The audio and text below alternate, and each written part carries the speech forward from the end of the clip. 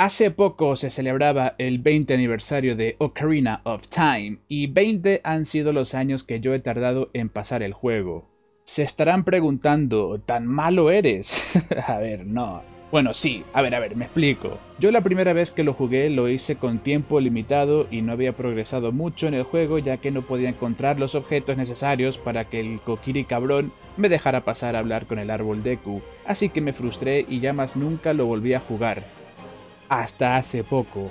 Años después de eso jugué The Wind Waker y ese juego me encantó. Y años después de ese le di un poco al Twilight Princess y también me gustó pero nunca lo llegué a acabar.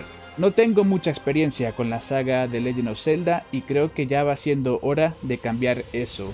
Así que decidí por fin volver a Ocarina of Time y valió la pena. Así que esta será mi pequeña review del juego ya que dudo que yo pueda decir nada nuevo que no se haya dicho ya mil veces. Y de fondo pondré lo que para mí sería un remake soñado de Ocarina of Time.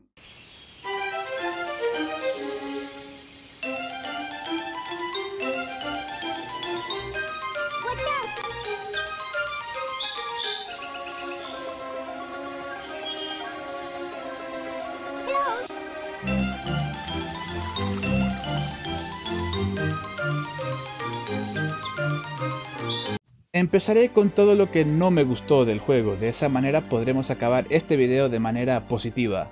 No seré muy duro con los controles ya que no es culpa del juego sino de la tecnología noventera. Yo también considero súper tedioso estar entrando todo el rato en el menú para cambiar de objetos y de botas, pero en nuevas entregas de Zelda e incluso en el remake, ese problema ya ha sido arreglado, así que tengo que insistir en no culpar al juego ni a los diseñadores ya que parece ser que fue una limitación del hardware de la época. Obviamente tampoco hablaré de los gráficos de un juego del año 98, aunque para mí personalmente estos gráficos retro tienen más encanto que esos gráficos del remake de 3DS. De lo que sí me puedo quejar es de lo que yo considero como alargamiento artificial de la duración del juego, con cosas como no poder usar a Epona siendo Link joven, lo cual te obliga a explorar el enorme y vacío campo Hyrule de manera muy muy lenta y encima con backtracking incluido. Link joven se mueve tan lento que la mayoría de las veces que intentas llegar al castillo se te hace de noche y te toca esperar al día siguiente para que lo abran. En el templo espiritual te obligan a hacer una parte como el pequeño Link y también me pareció un proceso algo tedioso, pero por lo menos ya a esas alturas del juego tienes una canción en la ocarina para hacer viajes rápidos. Hablemos de Link Joven un momento, ya que estamos. Lo siento, pero me parece un completo inútil el niño. No puede usar las dos espadas buenas del juego y encima solo puede usar un escudo de madera que se quema fácilmente. Y sí, cada vez que se te quema tienes que ir a buscar o comprar otro. Y no me vengan con la excusa de que es un niño, porque el Toon Link de Wind Waker también era un niño y podía usar todos los objetos imaginables. El boomerang por lo menos es divertido usarlo, y sobre la progresión del juego tengo sentimientos mixtos. Los que me hayan visto jugar en directo saben que yo soy un jugador ansioso, no me gusta perder el tiempo con misiones secundarias o con vueltas innecesarias para averiguar mi siguiente objetivo. Ocarina parece querer dar la sensación de ser un juego abierto y con opciones, pero en realidad es un juego lineal. Por mucho que yo pueda explorar campo Hyrule y llegar a cada zona, por ejemplo el Valle Gerudo, yo no puedo cruzar el puente sin antes tener la herramienta necesaria que se consigue en un templo específico. Sé que hay incentivos para hacer los minijuegos y las misiones secundarias, como obtener premios, como tener más espacio para la bomba, rupias, flechas, descubrir hadas y zonas secretas, etc. Pero la mayoría de eso es opcional. Sí, obvio que harían más fácil el juego, pero son actividades que requieren tiempo y a veces un mínimo de paciencia, cosa que yo no tengo, ya que me han dicho que tengo que derrotar a Ganondorf, el rey del mal. Bueno, de hecho Ganondorf ya ha ganado y tengo que viajar en el tiempo para derrotarle. Así que perdónenme si no me interesa ponerme a pescar.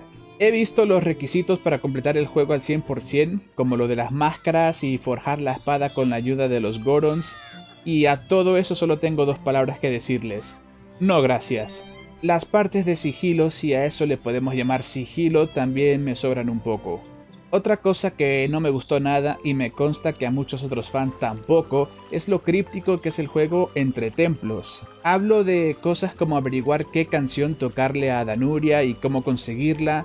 Hablo de cosas como atrapar un pescado en una botella para así luego poder presentárselo a Yabu para que me deje entrar en su boca. ¿A quién se le ocurriría estas cosas? Entiendo que a veces hay buenas pistas, como lo de dispararle una flecha al sol, y así poder desbloquear las flechas de luz necesarias para derrotar a Ganon. Pero esto yo ya lo sabía de antemano y por eso quise jugarlo en directo y con gente que sepa el juego, ya que no me habría gustado perder tiempo intentando averiguar esas cosas. ¿Y saben quién está de acuerdo conmigo? La propia Nintendo, ya que en el remake pusieron mejores pistas entre templos. Bien, ahora hablemos de todo lo que sí me gustó del juego, el propio gameplay y el combate. Para haber sido uno de los primeros juegos de acción-aventura en 3D, me sorprende lo bien que ha envejecido. Me encanta la variedad de objetos y herramientas que tiene Link a su disposición. No hay control de cámara con el joystick ni falta que hace, ya que se puede reposicionar la cámara con presionar un botón.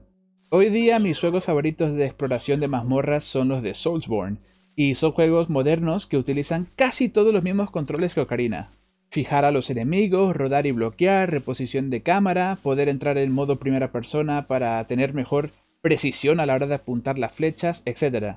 Así que fíjense si fue innovador y útil el gameplay de Ocarina que todavía se sigue usando en juegos de hoy. Es simplemente genial. Incluso me atrevería a decir que son controles infinitamente más cómodos e intuitivos que juegos que salieron mucho después de Ocarina, como por ejemplo Kingdom Hearts. Me sentía como si estuviera jugando el juego de toda la vida, a pesar de que era mi primera vez jugándolo. Vayamos ahora al motivo principal por lo que me gustan estos juegos, resolver templos. Me gustan casi todo tipo de templos. Hay templos lineales y hay templos no tan lineales y más complejos con backtracking incluido. A mí, sinceramente, ambas opciones me valen. Creo que el juego encuentra un buen balance entre ambos estilos. Con el joven Link empezamos con unos niveles iniciales como el del árbol Deku, Yabu Yabu, la cueva de Dodongo, que nos sirven de calentamiento para los templos de Link adulto. Resolver los templos es un auténtico placer y para mí el verdadero premio es descubrir los secretos y la manera de progresar a la siguiente pantalla después de escuchar esos icónicos efectos de sonido. Ese es el verdadero incentivo, eso es lo que te acerca cada vez más a tu objetivo final, que es llegar al castillo de Ganondorf. Lo único que se podría mejorar en este aspecto es la dificultad de los jefes. Me hice la gran mayoría de los jefes al primer intento y es cierto que se hace un pelín predecible y repetitiva la mecánica de usar el ítem que descubres en cada templo contra el jefe final. Pero como no soy diseñador ni les sabría decir una alternativa o mejor solución a este entre comillas problema, pues tengo que decir que ese sistema de momento es el mejor que hay. Mi enfrentamiento favorito fue contra Link Oscuro. El juego necesita seriamente tener más momentos así. Un combate súper duro que te obliga a pensar y te obliga a tener tu máxima coordinación para ganarle. Mis templos favoritos son los del Templo del Bosque y el Templo del Agua. Ambos te obligan a estar siempre atento a lo que haces y de dónde vas. Y cuando por fin los superas es extremadamente satisfactorio. Mientras más complicado sea el templo, mejor te sientes por completarlo. La lucha final contra Ganondorf y luego Ganon es divertida. Extremadamente fácil, pero muy divertida. Historia, a ver, la historia. Yo la mayoría de los juegos no los juego por su historia, ¿ok? Y a este juego apenas le presté atención, ya que yo estaba más concentrado en la jugabilidad. Aparte que cada vez que un juego o una película implementa la paradoja temporal, pues yo desconecto un poco. Ya suficiente tengo con los rompecabezas de los templos. Pero sí diré que me gustó mucho ver los contrastes entre los niveles como Link joven y luego como Link del futuro. El cambio impacta y te deja una sensación de que parte de lo que ha pasado es tu culpa y tienes que salvar tu timeline original de la destrucción. Tiene un buen balance entre tonos, no siempre es todo feliz y no siempre es todo oscuro y deprimente. Solo escuchen la canción de las tiendas, podría estar perfectamente en Super Mario Sunshine.